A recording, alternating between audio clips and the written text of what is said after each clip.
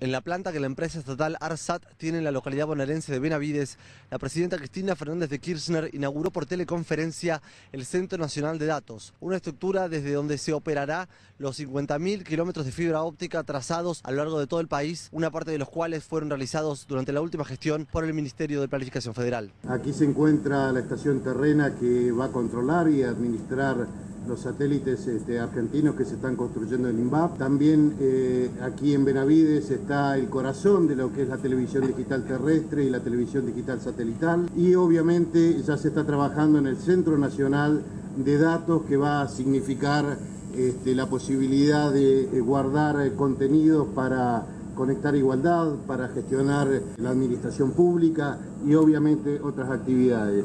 Iniciamos la obra del cruce del estrecho Magallanes con fibra óptica para toda la industria y toda la sociedad de Tierra del Fuego. Terminamos ayer de hacer la apertura de sobres de 150 núcleos de acceso al conocimiento, que es para aquellas zonas que no pueden tener un problema de asequibilidad de acceso al equipamiento para que puedan tener en un núcleo, hay 100 que van inclusive en los centros de integración comunitaria para que esa gente pueda acceder con el equipamiento que necesita, el mejor equipamiento a las redes y a la tecnología y al conocimiento. El rol principal de ARSAT va a ser eh, como transportista mayorista.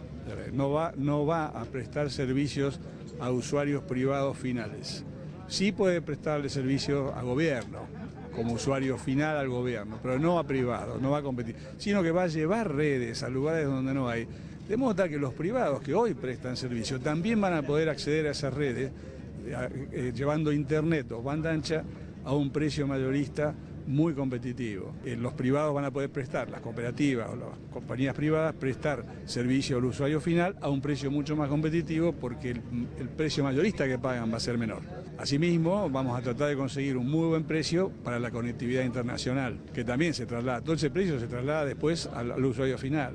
Así que tenemos un, una, una desigualdad muy grande en todo el país. Los precios bajos que por ahí se pagan, relativamente bajos, o razonables aquí en Buenos Aires, eh, de ninguna manera se pagan en todo el territorio nacional. Cada vez más lejos de Buenos Aires, más sale en la conectividad y más aún lo peor es que no hay en casi en muchos lugares, en muchas provincias no hay casi nada. Así que todo eso me parece que el rol de ARSAT estratégicamente es, es este, crucial en todo eso.